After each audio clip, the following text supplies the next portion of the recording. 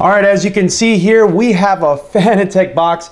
Now I have been, or Fanatic, however you, however you say it. Um, I've been pretty predominantly Thrustmaster in my rig. Uh, I haven't really have used anything else besides Thrustmaster. I started off with the T100 and now I have the Thrustmaster TX. I've had a few wheels. I've kind of ended on the, uh, the Alcantara edition of their wheels and I have the T3PA Pro pedals with some mods to the brake. You probably are already aware of that. So this is going to be my first Fanatic um, item that I've actually gotten. I've I've been staring at this for a while, and um, I picked it up on the Black Friday deal that they had. They had a Black Friday deal that the handbrake was 75 bucks in America, and it came with the USB adapter for free.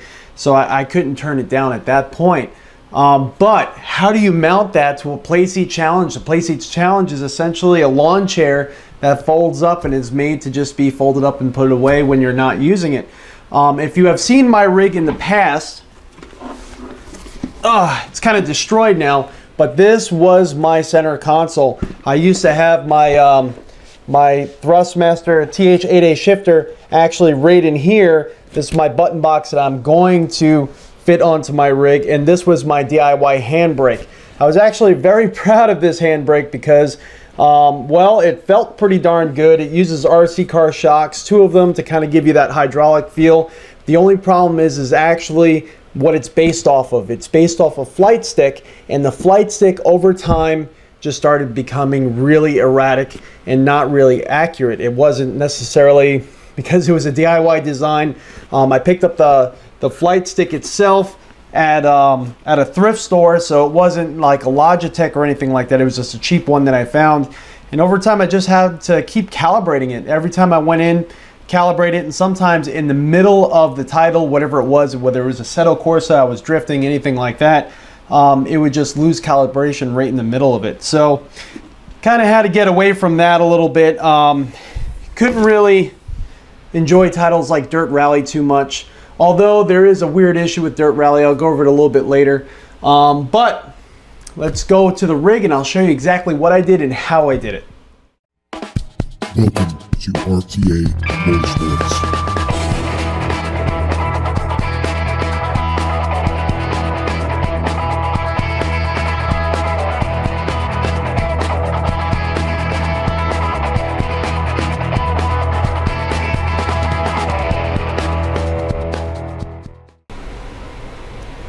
So I've seen on a lot of videos, they mount the TH8A shifter using RAM mounts. Now what RAM mounts are, um, it, RAM Mount is a company that makes mounts for GPS systems, phones, anything that you can mount onto a vehicle for motorcycles, for marine use, etc.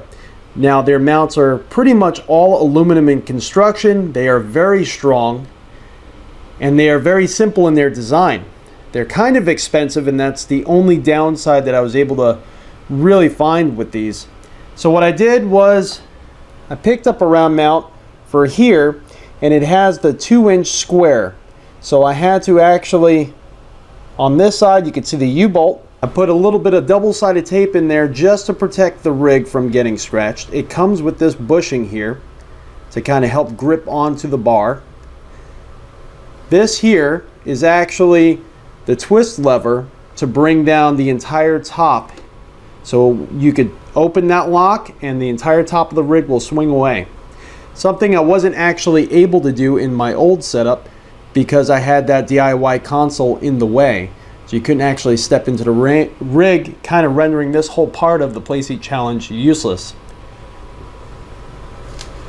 So the U-bolt goes there with the bushing. And you can see the rest of the RAM mount actually here. This is the actual main clamp. RAM mounts mainly use a ball and socket construction. You can see down there, well kind of, this is the ball for this piece here. There's another ball for the mount here. And these are all interchangeable. You could put whatever mount piece you want onto your RAM mount if you uh, need it for a different reason.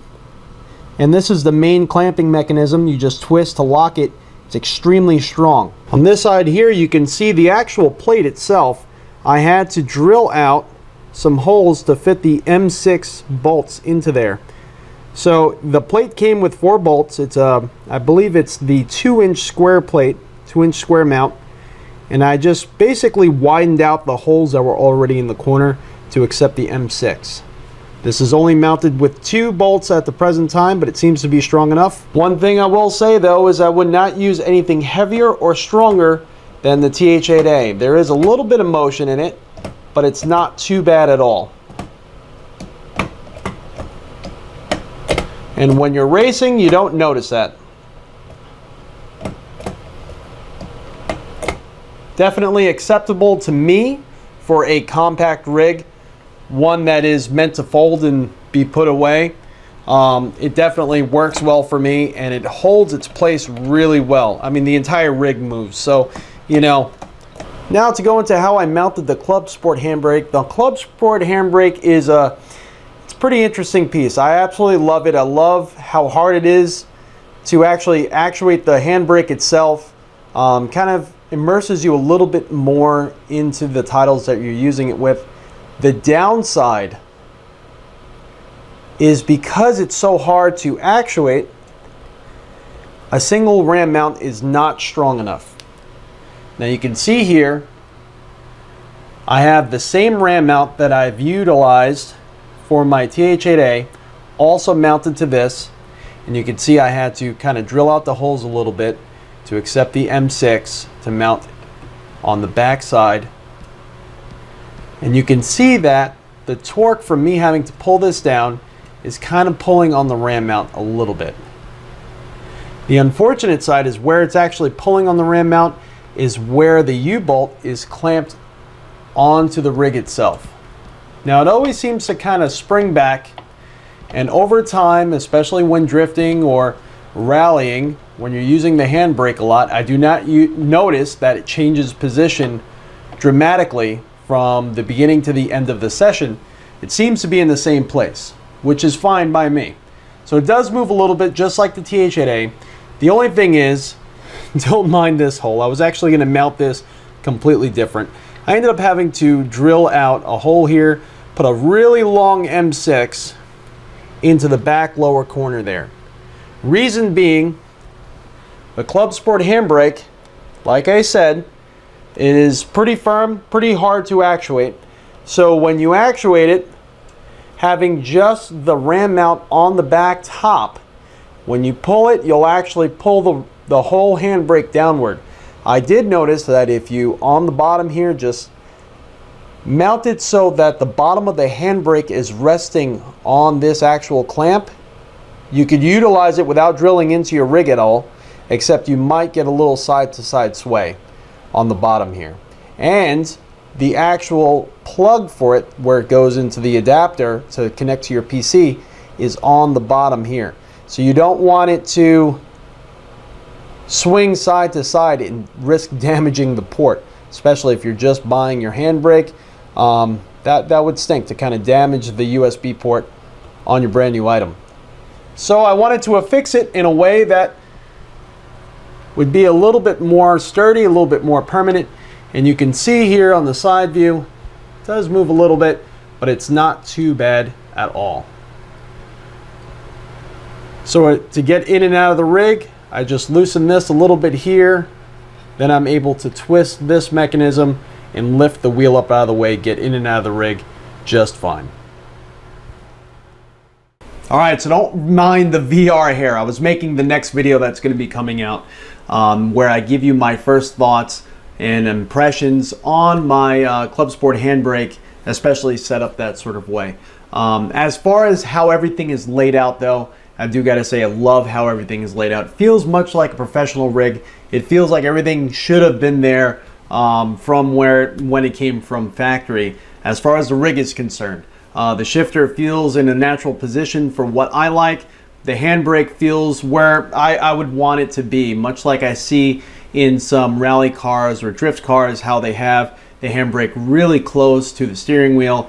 I feel that I could go straight from the handbrake to the steering wheel without any sort of issue or feeling like I'm kind of exaggerating my movements to, uh, to get from one input to the other. So I really like how everything is laid out. Everything is really comfortable. and I get to use uh, the main part of the Playseat Challenge uh, where I could swing the steering wheel up out of the way for easier entrance and exit, which was a huge issue when a lot of my friends came over. They really didn't like to, they loved using the rig when they were in it, but they didn't like getting in or out of it. It was always uh, kind of a hard time for a lot of my friends. So um, made it a little safer of an experience for everybody.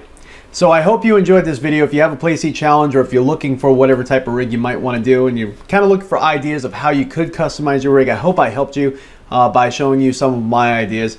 Definitely uh, post some comments below on your rigs. I'm sure a lot, a lot of your rigs are a lot more impressive than mine.